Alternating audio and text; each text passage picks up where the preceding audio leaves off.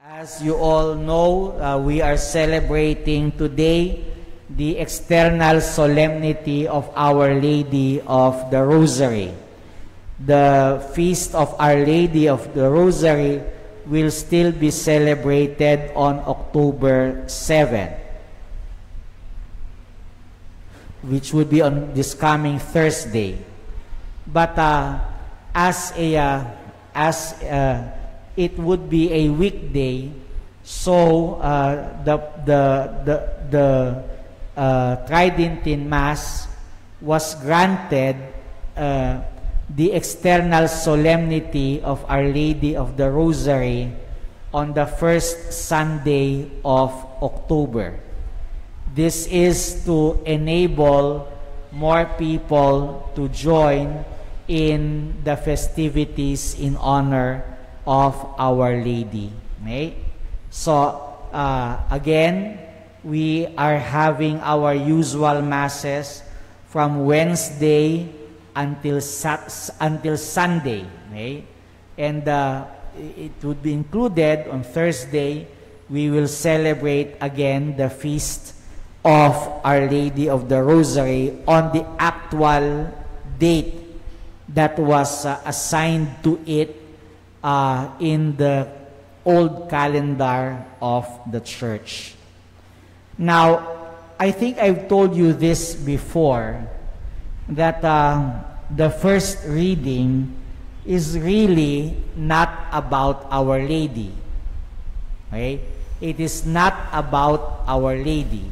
Many of us mistakenly think that the first reading today speaks of Our Lady. But how can it refer to Our Lady when the speaker of the first reading says that uh, in the beginning, uh, before everything else was made, I was set up from eternity even before the earth was made. Even before the depths were uh, dug, even before the fountains of waters have sprung out, even before the mountains were established, I was already present. When He prepared the heavens, I was already present. And that definitely cannot be Our Lady. Because it would, it would if, if we say that the speaker of the first uh, reading is Our Lady, then you might as well be telling me that Our Lady existed even before time began, which is not true. Now remember that Our Lady was and is a human being. And therefore, her existence began at the Immaculate Conception. Okay? Our Lady began existing when she was conceived immaculately in the womb of Saint Anne. So who is this speaker of the first reading? Again, it said, even from the very beginning, before the earth was made, and even before the heavens were arranged, I was there. Well, you'd have to go to the prologue of St. John.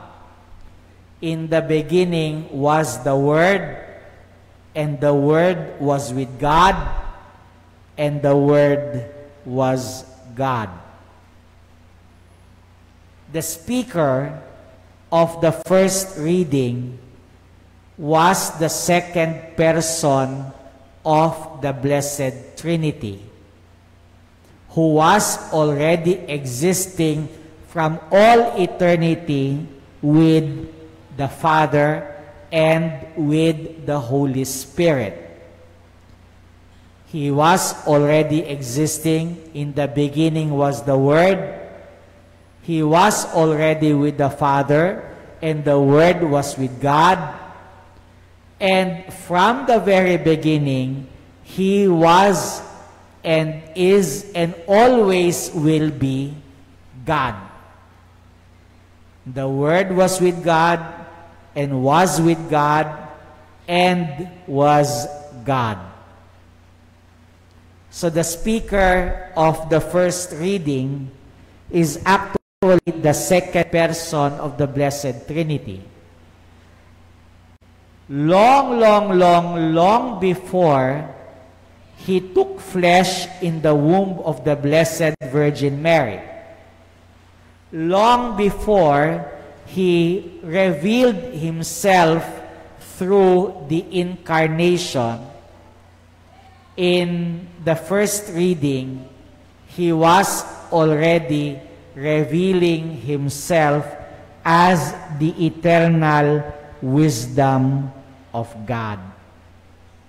So, uh, he loved, uh, he, he, he, uh, I was with him, forming all things, and was delighted every day, playing before him at all times, playing in the world, and my delights were to be with the children of men. It's a very playful depiction of the second person of the Blessed Trinity. It, if you will only picture it, it gives you the impression that while the Father was creating things, His only begotten Son was already playing. Okay? He was playing. I was with him, playing before him at all times, playing in the world. Okay? So, he was there when the world was created because according to St. Paul himself, that the Lord Jesus, Son of God, okay, through him all things were made, and all things were made for him. Okay? He was before all else. Everything was created through him. Remember, God uttered the word and whatever was uttered came into existence.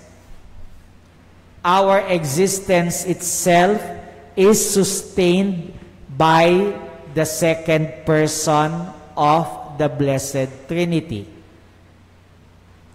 Our own existence until now is sustained by God the Son. All things were made through him. All things were made for him. Now, what has the first reading got to do with the rosary of the Blessed Virgin Mary? Inasmuch as the reading did not refer to Our Lady, but it referred to the only begotten Son of God. Therefore, what has this reading got to do with the rosary of Our Lady? Well, the second person, God the Son, said, My delights were to be with the children of men.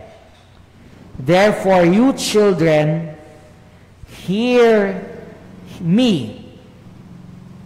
Blessed are they that keep my ways. Hear instruction and be wise and refuse it not. Blessed is the man that hears me and watches daily at my gates and waits at the posts of my door. the eternal wisdom of God was saying, The man who waits for me at the posts of my gates will be blessed. The man who watches daily at my gates will be blessed. He that shall find me shall find life and shall have salvation from the Lord. So the man who looks for the Lord will find the Lord. Remember what our Lord said? Ask and you shall receive. Seek and you shall find. Knock and the door shall be opened unto you. Seek and you shall find. Seek the Lord and you will find Him. Now, how do we seek the Lord? We seek the Lord by meditating on His laws day and night. The man who meditates on the law of the Lord is the man who watches daily at his gates. The man who contemplates the mysteries of the Lord is the man who waits at the posts of his door. Wisdom, the eternal wisdom of God, will approach only the man who searches for him. Wisdom, the eternal wisdom of God, will approach and give himself only to the man who night and day contemplates his word, who night and day contemplates his laws.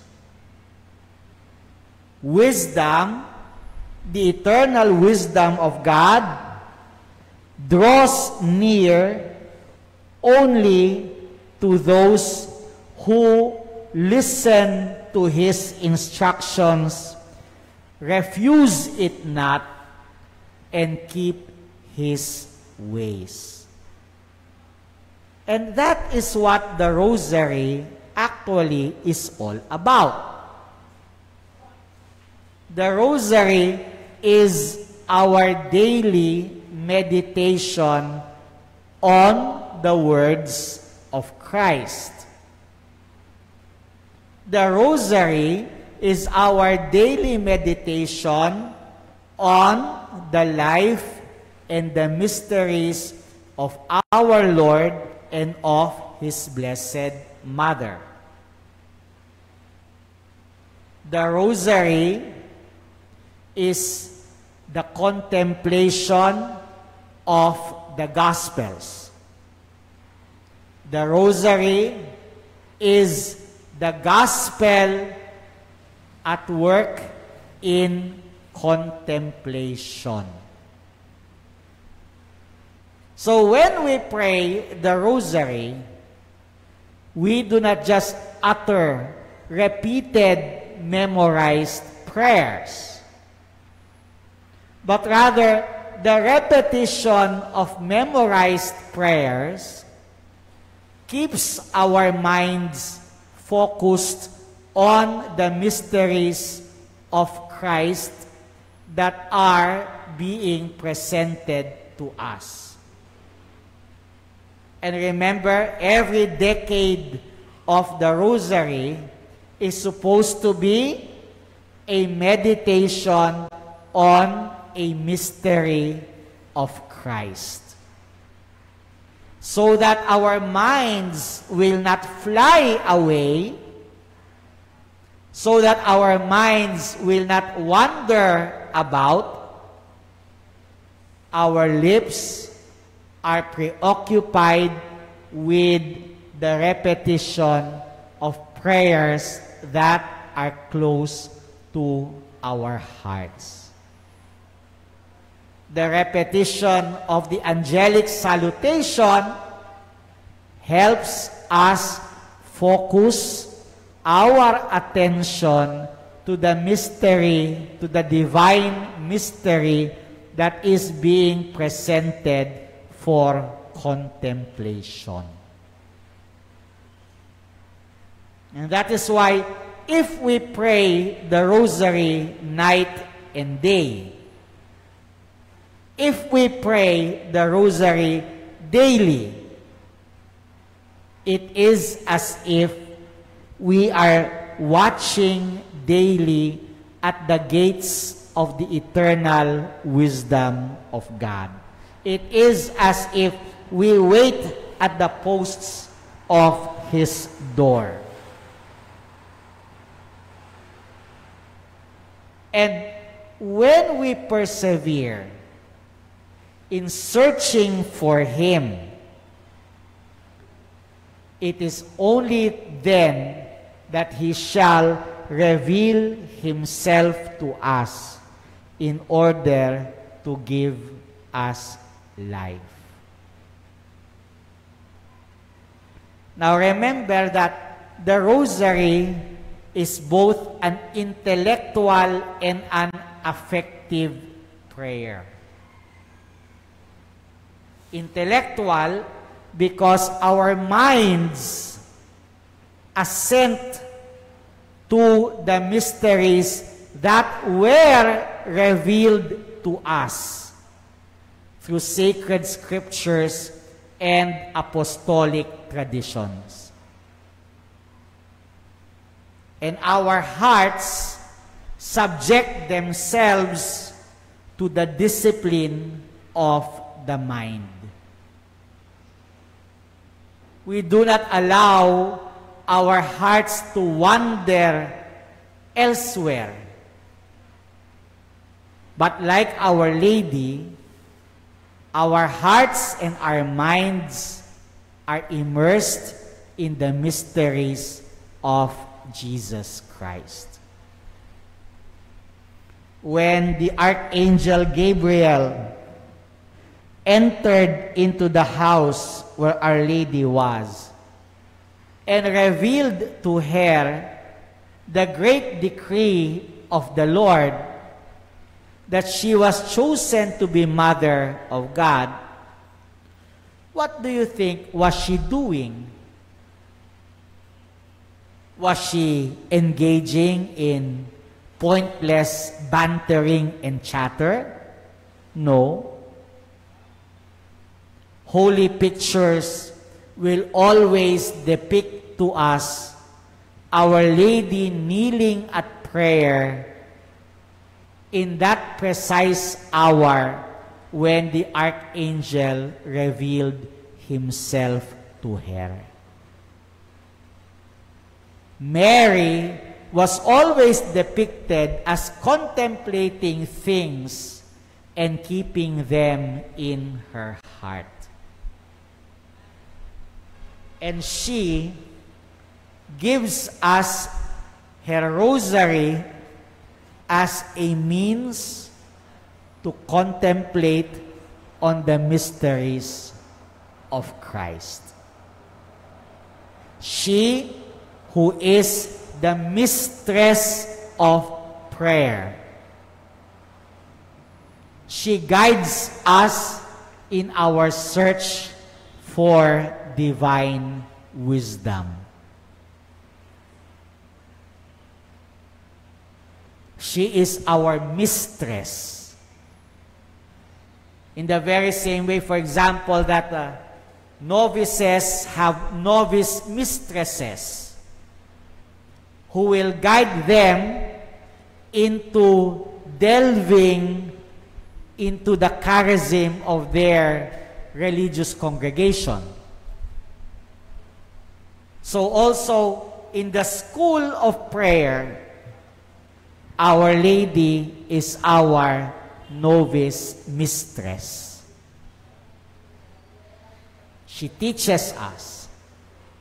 She guides us. Therefore, dearly beloved, I admit that sometimes, no, oftentimes, the rosary can become very boring. There's not much creativity in praying the rosary. Not much creativity found there. And yet, the monotony of the pacing of the angelic salutation is actually the secret to entering into the depths of contemplation. Love is deepened by monotony. All we have to do is to be faithful to the rosary hour. Whether we feel like it or not. Prayer is a discipline. It is not dependent on one's high or low emotions. It is a discipline. You engage in it in a particularly monotonous rhythm so as to deepen love. The devil today is trying to present to us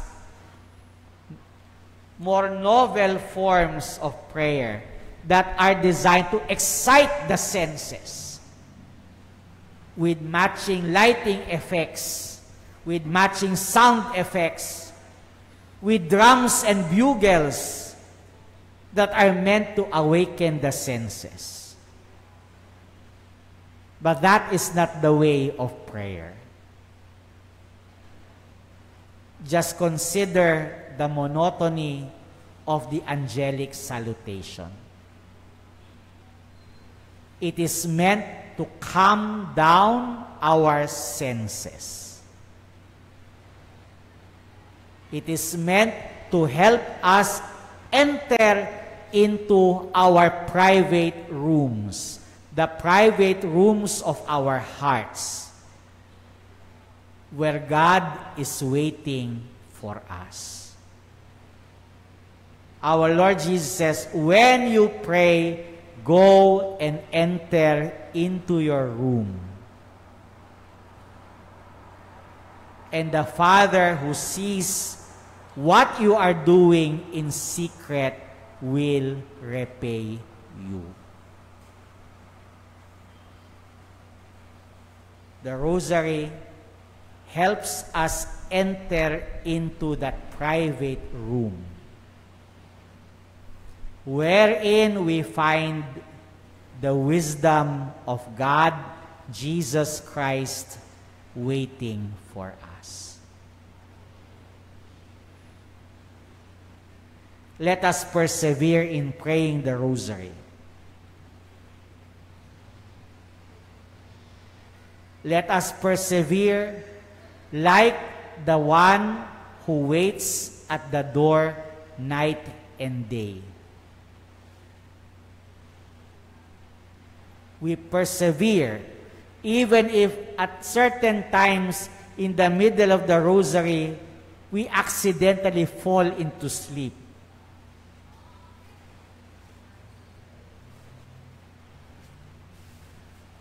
Fall into sleep we may, but let us keep on persevering. Let us keep watch daily at the gates of the wisdom of God. Let us wait at the posts of his door. Let us continue looking for him. And one day, he whom you are looking for shall reveal himself to you. O Mary, conceived without sin. In the name of the Father, and the Son, and the Holy Spirit,